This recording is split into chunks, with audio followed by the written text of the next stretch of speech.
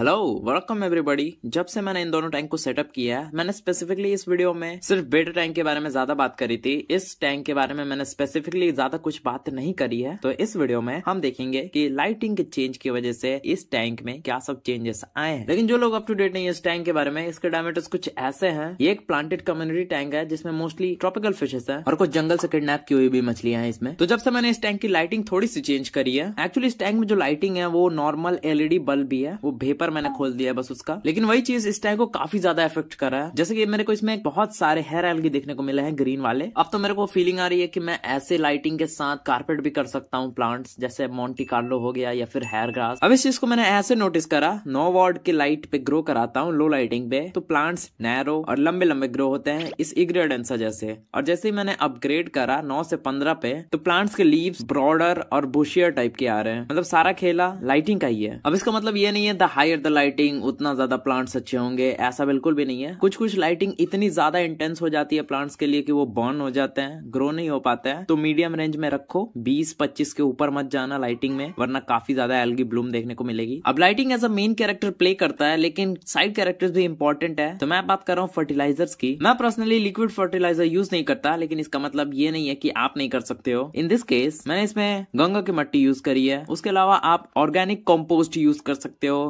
Garden pot mix use कर सकते हो एज अ सबस्ट्रेट लेयर जो कि प्लांट्स को न्यूट्रिएंट्स प्रोवाइड करेंगे। लेकिन इन सबको यूज़ करने से पहले मैं सजेस्ट करूँगा, इन्हें एक टब या फिर कंटेनर में डाल के, पानी भर के ऑलमोस्ट एक हफ़्ते के लिए छोड़ दो, उसके बाद एज अ सबस्ट्रेट यूज़ करना। इससे होगा क्या? जो भी एक्सेसिव हार्मफुल न्यूट्रिएंट्स होंगे, जो आपके प्लांट्स को मार सकते हैं, वो निकल जाएँगे। तो प्लांट्स को टैंक में ग्रो कराने का मेन मकसद और फ़ायदा मेरा यही है कि नंबर वन टैंक में हर दिन, हर हफ़्ता, हर महीना कुछ ना कुछ चेंजेस देखने को मिलता है। सेकेंडली ये एज अ फ़िल्टर काम करते हैं। अमोनिया नाइट्रेट नाइट्राइट को कम करने में काफ़ी ज़्यादा हेल्पफुल है। जितना ज़्यादा प्लांट्स उतने हेल्दी टैंक इसीलिए मैंने इस टैंक में भर भर के प्लांट्स रखे हैं। बिकॉज़ इसमें कोई भी फिल्टरेशन नहीं है और स्टॉकिंग काफ़ी ज़्यादा हाई है। तो मेरे को वाटर चेंजेस भी तीन दिन पे करने पड़ते हैं। थर्टी परसेंट ट्वेंटी परसेंट और भी प्लांटेड टैंक रिलेटेड इन्फॉर्मेशन के लिए ये वाली वीडियो जाकर देखो।